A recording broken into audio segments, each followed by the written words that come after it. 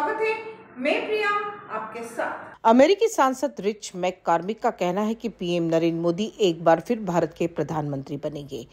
News agency में दिए interview में उन्होंने कहा, मोदी काफ़ी लोकप्रिय नेता है। आने वाले लोकसभा चुनाव में उनकी पार्टी जीतेगी। मैं भारत आया था, मोदी के साथ लंच किया था। पार्टी के सदस्यों में उनकी लोकप्रियता देखी थी। अगर कोई नेता सत्तर प्रतिशत लोकप्रिय है तो वो मोदी ही है।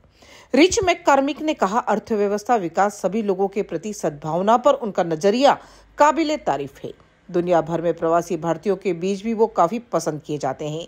ये भारत को देखने का दुनिया का नज़रिया बदल देता है। भारत के रणनीतिक संबंध और वैश्विक अर्थव्यवस्था पर उनका सकारात्मक प्रभाव पड़ा है। मैकार्मिक ने कहा, भारत आत्मविश्वास के साथ आगे बढ़ रहा है। मोदी के नेतृत्व में भारत की अर्थव्यवस्था हर साल छह से आठ प्रतिशत तक बढ़ रही है। अन्य देशों के साथ काम करने की उनकी इच्छा की तारीफ़ होनी चाहिए। उनकी लीडरशिप में भारत बेहद ईमानदार नज़र आता है। वो टेक्नोलॉजी चुराने नहीं, बल्कि शेयर करने पर सहमति जताते हैं।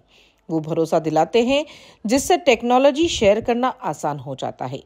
पिछले साल अमेरिका ने भारत में धार्मिक स्वतंत्रता की तारीफ़ की थी। कहा था कि भारत विश्व का सबसे बड़ा लोकतंत्र है और कई धर्मों का घर है। बाकी की तमाम खबरों के लिए बने रहिए राजनामा